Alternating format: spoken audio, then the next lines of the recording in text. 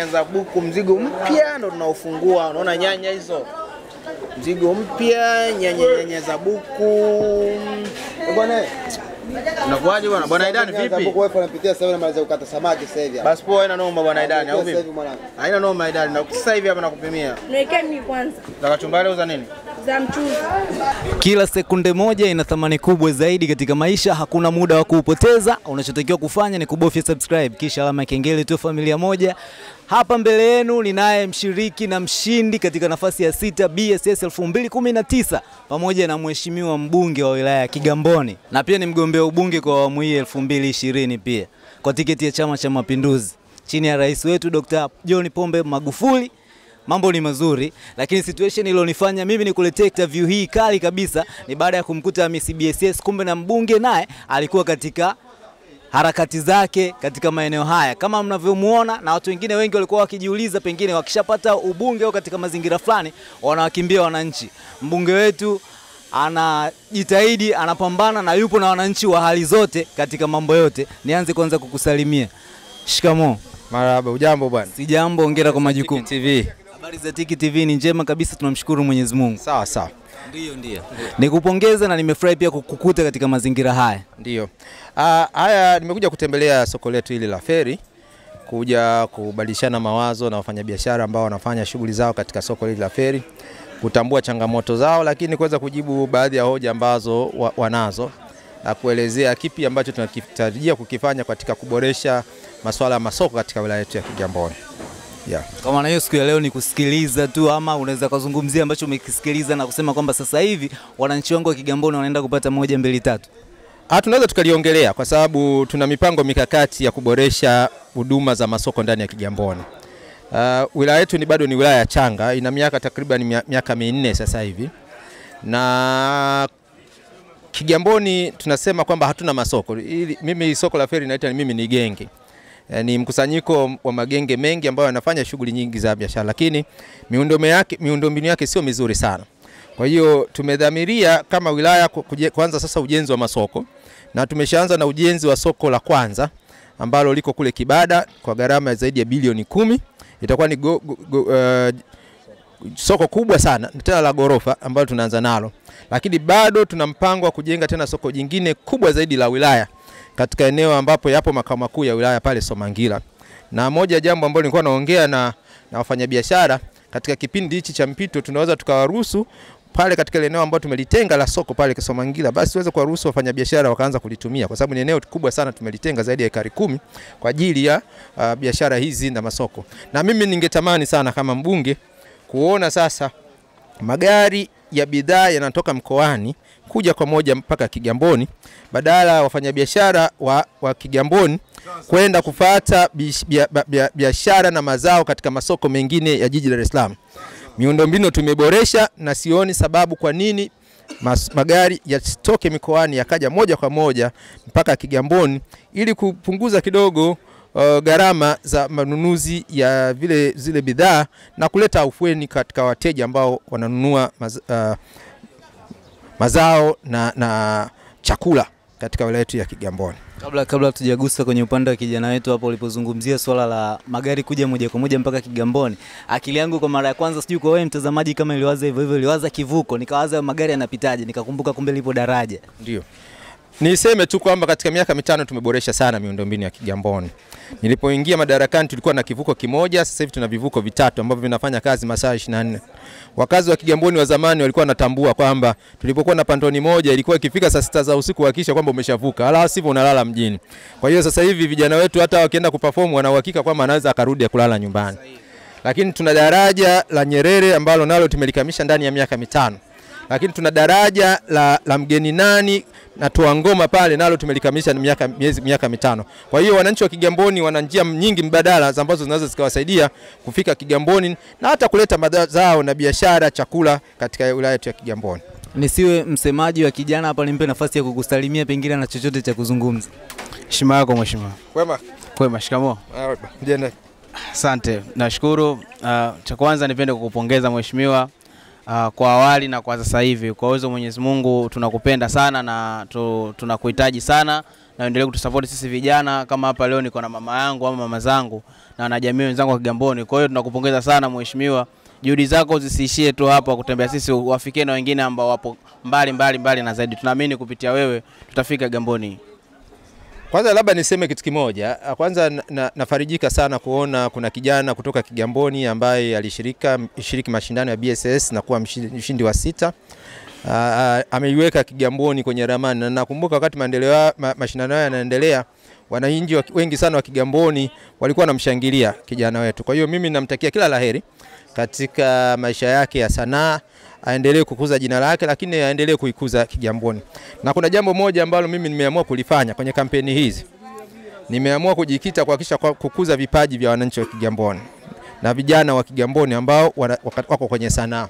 Kwa hiyo mtaona kwamba katika kampeni zangu zote tutahakikisha kwamba vijana wa Kigamboni wanapata sehemu ya kuweza kuperform nyimbo zao na kuweza kuonekana katika, katika jamii. Kwa hiyo hili nitaka niliseme, nimedhamiria kwamba vijana wa Kigamboni ambao tumeweza kuwabaini kwa, kwa, kuwabaini na ambao tumeweza kuona uwezo wao na sisi tunajaribu kuwasaidia kuwa promote. Mtu atajiuliza ni kwa njia gani ama tusubiri kitu gani ama tutasikia wapi Kuhusu nini?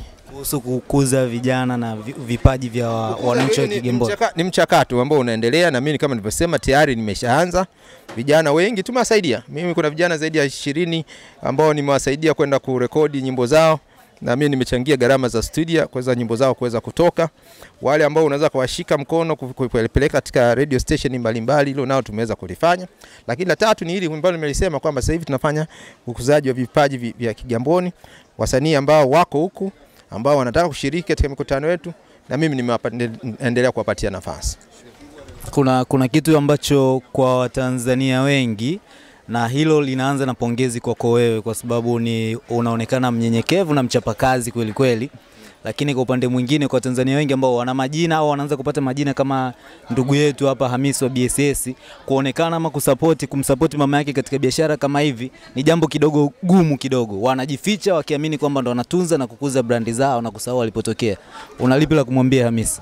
Mimi ni muombe Hamis asisahau asili yake. Eh, huyu ni mama yake mzazi na, na yeye amefika hapa kwa sababu ya shughuli ambayo mama yake ambayo amekuwa anaifanya. Kwa hiyo ae- waendelee ku- kumpa heshima mama yake, lakini kuthamini kile ambacho mama yake amekuwa anakifanya, kumsaidia kukuza biashara zake zaidi ya hapa, lakini biashara hizi ndio zinatupa sisi uhai eh? E, wote ni- tunakula chakula na chakula chote kinaanzia katika misingi hii. Kwa hiyo na mimi niendelee kumsisitiza kijana wetu kuhakikisha kwamba anakuwa mtulivu, kwa sababu tasnia ambayo ameingia ni tasnia ambayo ina changamoto zake nyingi sana. Kikubwa ni utulivu, kuangalia malengo yake, wapi anapotaka kwenda na kuhakikisha kwamba aingii katika yale magenge ambayo yanaweza akamharibia yeye karia yake. Tumeona wengi ambao wa, walipitia mchakato kama huu au wasanii wakubwa ambao walivuma sana na sasa hivi wamepotea kwa sababu hawakuwa na nidhamu katika kile ambacho walikuwa wanakifanya. Nidhamu, kujituma katika kitu ambacho wanachokifanya ndio misingi ya mafanikio katika tasnia yoyote ile. Namuuliza Hamisi swali moja, narudi kumaliza kwako na moja, alafu nitarudi kuendelea na interview itakayomhusu Hamisi peke yake. Hamisi, katika kichwa chako sasa hivi, baada ya yote ambayo umesikia, unawaza nini? Uh, cha kwanza mimi nisipende kusema kwamba namshukuru cha kwanza mbunge wetu wa kutembelea, lakini hii imekuwa bahati iliyoje, kwa sababu sio kila kiongozi au kila aliyekuwa kiongozi huwa na moyo kama huu wa kutembelea watu wake wa karibu na hata waliokuwa mbali kuwafikia. Kwa hiyo nawashukuru, nawashukuru watu wote ambao labda wame, wameweza kumsikiliza kiongozi na kumsikia na pia namshukuru na yeye pia kuwa na moyo huu wa ku- wa ku- wa kuji- kujitahidi kuja kutembelea, lakini kitu kikubwa kwamba nimemsikiliza ushauri wake na nasaha zake, nitazifuatilia, nitazichukulia hatua, lakini pia aendelee kuwasaidia vijana wengine wengine wengine kama mimi na wengine na wengine zaidi.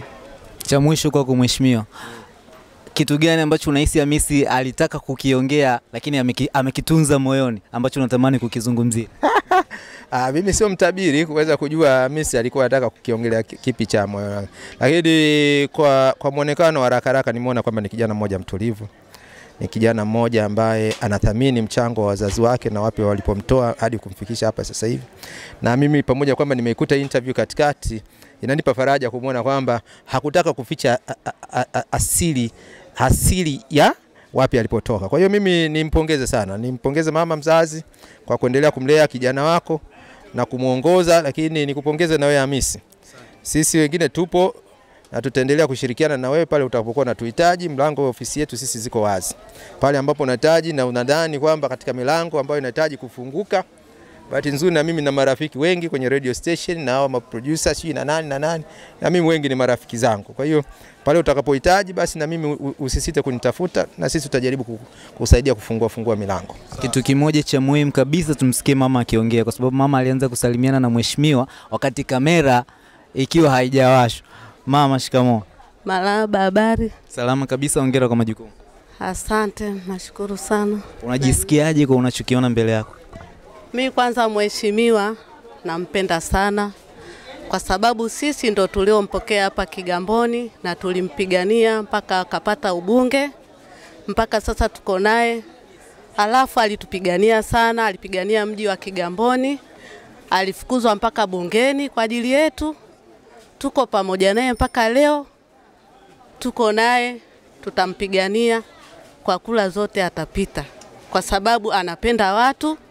Alikuwa tayari kwa lolote po hapa Kigamboni, kwa sababu tulisimamishwa majengo yetu. Mtu amejenga chumba kimoja, ana watoto labda watatu wanne, anategemea aongeze chumba cha pili ili watoto wapate chumba kingine, lakini tulisimamishwa, tuliwekewa stop order ndani ya miaka saba lakini amelipigania hilo mpaka sasa tuko huru na watu wanaendelea kujenga majumba. Na alipoingiwa Mheshimiwa Magufuli akatoa habari za KDA ikafutwa, na watu wakaendelea kujenga majumba mpaka leo tupo huru, tunajenga majumba. Mimi kwa hilo namshukuru sana, ametupigania sana Kigamboni. Baada ya shukrani hizo, neno la mwisho kutoka kwako mheshimiwa. Mimi niendelee kuwaomba sana kwa sababu tuko katika wilaya yetu ya Kigamboni. Ni, ni washukuru Kwa mtu ambaye anaitazama sasa hivi, najua swali la kwanza atakuwa anajiuliza ilikuwaje, ilikuchukua muda gani, na maamuzi pengine ni mepesi au magumu kiasi gani kuja katika sehemu kama hii ambayo unajua kila mtu akifika atanyosha kidole na kusema Hamisi wa BSS yule. Uh, kwanza nipende kumshukuru Mwenyezi Mungu kwa nafasi hii uh, ya Tiki Online TV, lakini kitu kikubwa ni kwamba sio rahisi kuchukua maamuzi, lakini ndio hivyo, nafika wakati na kwa aina jinsi ama ufanye hivyo. Uki, ukijaribu kujiuliza uki, mtu mwingine atafikiria sasa unafanya kwa ajili kwa yani kipi ambacho kimekuvuta kufanya Uh, unajua kwanza huyu ni mama yangu, afu tofauti na hivyo uh, hii ni biashara yake au ni biashara ambayo imetutoa sisi. Kwa hiyo ilifika tu hatua nikaona bora turudi zetu Kigamboni zangu gamboni nije kufanya shughuli ambayo naamini kwangu itakuwa ni sahihi, lakini mwisho wa siku kwamba hii ndo asili yangu na siwezi kuacha asili. Kwa hiyo ni hivyo tu. swali ambalo lina click vipi kuhusu muziki Ah, muziki tunafanya ndio hivyo mdogo mdogo, sema kitu kikubwa kwamba support hakuna hakuna support. Kwa hiyo tukaona bado turejee kwa mama zetu au kwa ndugu zetu au kwa familia yetu kwa ujumla, ambao wao tangu mwanzo mpaka sasa hivi na wanisupport. Kwa hiyo support kubwa hakuna, ndio maana mwana bwana rudi huko. kwa maana hiyo huku ndo, ndo unaitafuta support ama ndo una make ili uji nani mwenyewe Ah, uh, ndo na meki ili ili mambo yaende sawa, kwa sababu najua hata umenishtukiza kunikuta hapa, na watu wengine pia wakija kama hivi huwa nakatalia kutokana na watu wengine kuona kuna tofauti, lakini tuna meki taratibu taratibu hivyo ili tufanye mambo. nilisikia na niliona uliposti kwamba akaunti yako ya YouTube imehakiwa. Vipi imepatikana au inakuwaje? Uh, binafsi mimi akaunti yangu mpaka sasa hivi haijapatikana ya YouTube, watu waliiba, sijui kina nani na sijui ni nani, na nilijaribu kuifuatilia na kuitafuta, lakini imeshindikana. Lakini mimi naamini pia aliniibia akaunti yangu ya YouTube, yeye anaijua na pia yeye ana uwezo pia kunirudishia, lakini naona hataki kwa sababu ameamea yake, lakini haifanyi chochote. Kwa hiyo mimi niombe tu kwa watu ambao wanaweza kunisupport, watu wanaweza kunisaidia kama mara ya kwanza, waende waendelee kunisupport, lakini kitu kubwa pia watu ambao labda wanaweza kuja hapa gengeni kwa mama yangu pia wakanikuta kufanya biashara hivyo hivyo. Kuna mtu ambaye atakuwa anajiuliza kwamba kwenye, kwenye muziki kama hakuna spidi ya kuachia ngoma ukilinganisha ngoma ya mwisho umeachia baada ya, ya muda gani tangu ya pili kutoka mwisho Miezi mitatu imepita, na hiyo sasa hivi inaitwaje inaitwa umesahau. Hongera sana kwanza, kule kuna, kuna vitu vizuri mule, gari kali, muonekano pia umebadilika. Asante. Ah, ndo najichangachanga. Sona hapa tupo gengeni hapa tunauzauza, tukipata mia tano bei mkubwa naye anisaidia, basi mama anaweza kwenda sawa, lakini kitu kikubwa watu tu waendelee kunisapoti, na kikubwa ninachelewa kutoa ngoma kwa sababu hakuna management, hakuna watu sahihi zaidi, hakuna watu wa kunisaidia. Kwa hiyo mtu ambaye anaisikiza sasa hivi kama anaweza kunisaidia basi anisaidie na anisupport. Hakuna watu sahihi wa kusaidia, ina maana watu wa kusaidia wapo, ila sio sahihi. Unatumia vigezo gani ama kipimo gani kujua kwamba watu ni sahihi kuweza kukusapoti? Uh, mtu sahihi na utamuona tu vile alivyo na utamuona tu spidi yake kwenye ufanyaji wa kazi na vile atakavyotaka yeye kusupport. Kwa hiyo kitu kikubwa kwamba watu wengi wan- wanaotaka kukusapoti unakuwa nao, unazungumza nao, lakini unakuwa hawana ule moyo au wana ile nia ya kweli kusaidia. Mtaenda kutafuta tu, ah, Hamisi sasa hivi unauza genge, eh, njoo basi tukutane sehemu fulani, anakupoteza muda wako tu, anakuwa kusaidii kweli, anakuwa anakuuzi anaku Wanasema usipokumbuka ulipotoka uwezi kuelewa unakwenda wapi. Nikupongeze kwa sababu ya mm, kuonekana kualikwa kama mmoja kati ya washiriki waliotoa burudani kwenye uzinduzi wa BSS msimu wa kumi na moja pale. Ilikuwa ni wapi pale? ilikuwa ilikuwa inaitwa Double Tree pale Masaki. Double Tree Masaki. Hiyo ni biashara nyingine tumeitangaza. Sawa, tukiwa tunaendelea sasa na mambo mengine ambayo yanakuwa yakitokea tokea, kitu gani katika maisha yako kwa muda tangu ulipozaliwa unafikiri kwamba una wish ungekijua ili ukivuke, lakini tayari ushakipitia? um, kuto kuzungumza maneno sahihi katika mitandao, labda wakati mwingine. Nakumbuka una interview moja nishia kufanyaga hivi, haikuwa sahihi na vitu kama hivyo, na watu pia, maneno ya watu ni vitu ambavyo sio sahihi, au natamani nisinga- nisingalijua au ningevijua ningevivuka. Mm. Unafikiri ni kitu gani ambacho mtu hawezi kumfikiria Hamisi BSS kwamba Hamisi anaweza kuwa hivi ama Hamisi anaweza kufanya hivi? Hamisi ni mtu ambaye sio mtu ambaye wa mambo mengi, yani sina mambo mengi, mimi ni mtu wa dini sana, lakini kitu ambacho unaweza kufikiria mimi sio bisho, labda sio, yani sio vitu kama hivyo. Haujanielewa. Kitu ambacho mtu akifikiria kuhusu wewe atakosea ni kitu gani? kwamba mimi nadharau watu, nadharau au naongea vibaya kwa watu mm, nicho Kipi ambacho akifikiria atakuwa amepatia zaidi na pengine unaweza ukampa zawadi? Na kama ni zawadi utamchagulia zawadi gani? mi ni mkarimu sana, nawapenda watu, na kama zawadi nitampa zawadi, nitamheshimu na mi ndo zawadi kubwa kwake. Unapata nafasi ama bahati fulani ya kwamba siku moja uandaliwe dina na celebrity mmoja mkubwa Tanzania, utamchagua nani na kwa nini?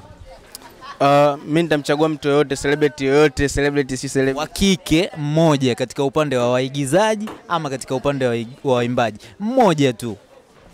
Um, uh, mi binafsi nitamchagua Gigimani kwa sababu nampenda Gigimani, nampenda vile anavyofanya mziki wake, napenda harakati zake, lakini pia napenda vile alivyo tu.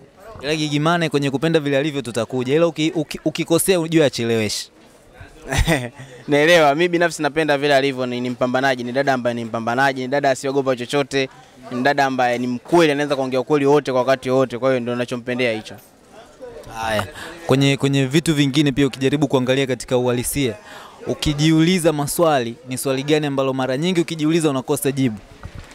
Um, ni kwa nini labda nakosa support ya watu kunisaidia? Mm, Ndio swali ambalo najiuliza pia na nakosa majibu mara nyingi. Nafikiri nani ana majibu yake? Sijui majibu yake, lakini majibu nafikiri kuyapata mpaka pale watakapokuja, mtu atakapokuja sasa hivi kuni, kuni, kunisaidia, kwa sababu mpaka sasa hivi naona kama hapa nauza genge, nafanya hivi, nimeacha hizo shughuli za mziki kwa muda na kwa nasimama, kwa sababu sina mtu wa kunisaidia, sina watu wa kunisaidia sahihi, ndio maana inakuwa vitu kama hivyo Umewahi kutafuta ushauri kutokana na situation unayopitia? sana. Nishatafuta sana ushauri, watu wanakuambia nenda kundi fulani, nenda huku, lakini hata ukienda pia huwezi kupata support, kwa sababu inakuwa sio rahisi kuwafikia hao watu. Ni nani ambaye uliwahi kutamani kumfikia kwa haraka lakini ukaona kama umekwama? Uh, binafsi mimi nilitamani kumfikia Harmonize labda kwa haraka, nilitamani kumfikia Harmonize, lakini ikawa ngumu kumfikia kutokana kwa sababu mbalimbali zilitokea hapa katikati, nikafe nikafeli. Na sasa hivi unahisi kama anakusikia ana, anakusikia au anakuona, una kipi cha kumwambia kwa mara nyingine? Cha kwanza Harmonize Konde Boy, kama ananisikia au kama ananiangalia, cha kwanza namkubali sana, mimi ni shabiki yake namba moja, lakini kitu kikubwa pia mimi nampenda sana vile anavyofanya kile anachokifanya, lakini kitu kikubwa kama ali- aliahidi atanisaidia, basi aendelee kunisaidia. Kama hatanisaidia kujiunga kwenye kundi lake, basi anisaidie hata kusapoti ndogo ndogo, labda kupata kurekodi nyimbo moja au kufanya chochote kile ambacho anaamini anaweza kunisaidia, lakini namkubali sana. Natamani siku moja nisaidia. Imani yangu ni hiyo kwamba natamani ama naamini siku moja atanisaidia. Naamini pia sasa hivi ananiangalia. Na watu wengine wote pale walipo na wanaokutazama katika kona za dunia? Uh, cha kwanza nawapenda sana watu wote ambao wananiangalia, lakini kitu kikubwa kwamba wakija hapa feri Kigamboni kwa mama yangu na mimi nipo, waje kutusaidia pia, tunauza genge. Lakini kitu kingine pia wasisite kunisaidia kwa lolote ile ambao wanaamini kwamba litakuwa sahihi kwao kunisaidia mimi. Kwa hiyo ni hivyo tu. Kwa kipindi chote hiki una siku ngapi hapa kwenye kuuza genge? Ah, ni muda ta, tangu sijatoa nyimbo mimi ilikuwa ni miezi mitatu. Kwa hiyo miezi mitatu yote nilikuwa nipo tu hapa. Ulikuwa unakaaje, ni katika mazingira gani na ukagundua kitu gani? Nilikuwa nakaa katika mazingira ya kumsaidia bi mkubwa, lakini nimejifunza upendo nimejifunza kwamba watu pia wananifahamu bado. Watasema twende kwa Mungisho kwa mama yake Hamisi pale, twende kwa mama yake Hamisi. Kwa hiyo wanakuja, nafurahi pia vile tunavyopiga story, wanavyosema ah, wewe ndio ulikuwa mtu fulani eh. Kwa ni huo tu upendo kwao. Sasa hivi tageti zako zikoje? Uh, tageti zangu ni kuachia ngoma, lakini tageti zangu haziwezi kufika kama nakosa support. Hicho ndio kitu kikubwa. Kwa hiyo naweza nikawa na target nyingi nikaahidi tu watu bure, lakini zisitimie kutokana bado sina support. Kwa, kwa sasa hivi nimesikia na baada ya kutokea hapa mheshimiwa, mimi nikapata wazo hivi, haujapata shavu lolote la kampeni? Tutarajie mheshimiwa amesema uh, vijana tunaweza tukafanya chochote, tunaweza tuka, tuka, tukaimba nyimbo za kampeni, tunaweza tukafanya jambo jema ambalo labda litakuwa sahihi katika wakati huu. Mimi ninaamini kupitia yeye mheshimiwa mbunge alivyozungumza, mheshimiwa Ndungulile Uh, kuna kitu chochote kitatokea, ataweza wote kunisaidia kwa sababu pia naye ameahidi kwamba anaweza kanisaidia popote pale ambapo anaamini yeye atafikia kwa uwezo wake aliokuwa nao. Wanasema hakuna biashara kubwa wala ndogo, makini ndo jambo la msingi. Unaizungumzia vipi kauli hiyo kwa biashara ambayo unaifanya sasa hivi?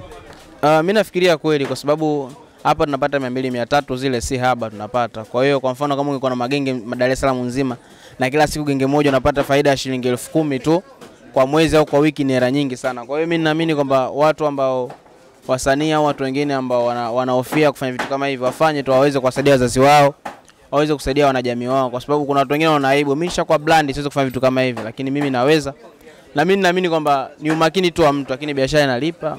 Nyanya kama hivi unavyoona, vitu kadha wa kadha. Kwa biashara hii tangu niko mdogo, bi mkubwa wangu anafanya na wazee wangu wote wanafanya biashara kama hizi. Kwa hiyo mimi nakuwa naziona na mwisho wa siku kwamba mm, inabudi kwamba mimi nifanye tu. Kwa hiyo na, na uzoefu nao tangu niko mdogo, tangu niko primary, niko sekondari, na mimi nipo na kujaga kujaga. Kwa hiyo naamini kwamba nafahamu kiasi. Kila kitu hakikosi changamoto. Ni kweli. Kwenye hii hapa umegundua changamoto zipi na unazikabili vipi?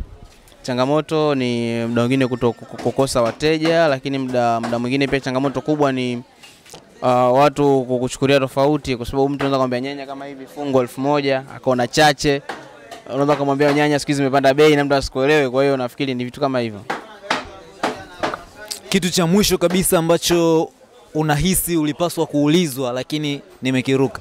Eh, Kitu cha mwisho ambacho nilipaswa kuulizwa, labda si ungezungumza na mama yangu, hujazungumza naye, lakini tofauti na hivyo, nawapenda sana watu wote ambao wananiangalia kupitia Tiki Online TV. Hongera kwa majukumu. Asante baba, nashukuru. Hongera kwa kukuza pia. Asante. Hongera kwa kumlea katika maadili, kwa sababu hawezi ku- kutamka kuongea katika maneno dakika kumi zikaisha, aache kuzungumza nimelelewa katika misingi ya kidini.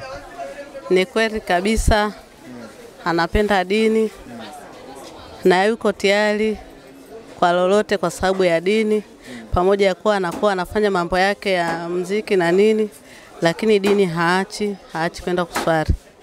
Kitu gani kingine mbali na hivyo ambacho unakipenda zaidi kuhusu kijana wako? Nampenda kijana wangu kwa sababu ni msikivu na ana hekima, yuko tayari kumsikiliza mtu yeyote. Tukio gani kuhusu yeye ukilikumbuka unaweza una, una, unahisi kama machozi yanakulengalenga, ila kwa sababu mtu mzima basi unalia kwa ndani? Kitu ambacho ninahisi ni kwamba anatamani kuwa mtu wa juu sana, kama alivyosema, anatamani kuwa kama Harmonize, lakini bado uwezo wa kuwa juu haujapatikana, na kutokana kwamba anaishi kwenye mazingira kama haya, kwamba wazazi wake sisi tunauza genge na nini, hatuna kipato kikubwa. Kwa hiyo kwa kweli huwa anajisikia vibaya anapotamani kuwa mbali zaidi aliyopo lakini hakuna uwezo, labda aendelee tu kuwa na hekima, anaweza akapata watu labda wakamvusha kwenda juu. Pengine kwa nafasi yake, kwa sauti yake, kwa ombi lake, kwa Harmonize bado analifanyia tuseme tuseme analifanyia mchakato, pengine hatuwezi kujua yeye Harmonize anawaza kitu gani kwa yeye ambacho kaongea Hamis kama Hamis. Pengine sauti ama ombi la mama linaweza likawa zito zaidi, unaweza kumwambia kitu gani Harmonize kama anakutazama muda huu? Mimi Harmonize kama ananitizama muda huu, nilikuwa naomba tu kama inawezekana ambebe kijana wangu aweze kumfikisha sehemu na yeye alipo, kwa sababu hapa duniani tupo kwa ajili ya kutegemeana, kwamba kila mtu anamtegemea mwenzake. Mama, wewe ni shabiki wa muziki? Mimi napenda sana mziki kuliko kitu chochote, Muziki wa aina gani? miziki tu ambayo ina hekima, ambayo naweza nikatizama mimi kama mtu mzima nikafurahia. Msanii wako pendwa kwa sasa hivi ni nani? Msanii wangu pendwa kwa sasa hivi ni kama hivyo Harmonize, pia mi nampenda sana kwa sababu nyimbo zake ameimba kistaarabu na anacheza kistaarabu na watu wengi wanampenda.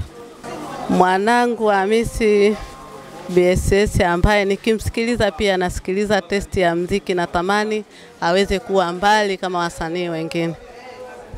Nikushukuru sana wewe mkali na mjanja ambaye tumekuwa pamoja. Ni ruhusu nafasi moja moja kwa mama pamoja na mwana kusema neno la mwisho, alafu mimi nitamalizia.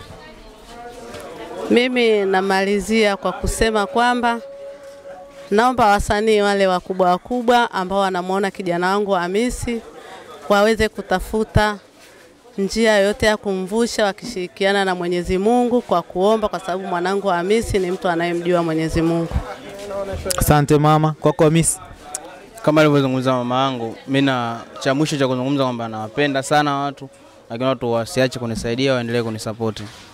na sisi tunawakubali sana nyie ambao mnaotazama, na nyie basi msiache kusubscribe, kulike na kucomment. Mimi naitwa Kelvin Shayo, nikutakia wakati mwema. Bye bye kwa sasa.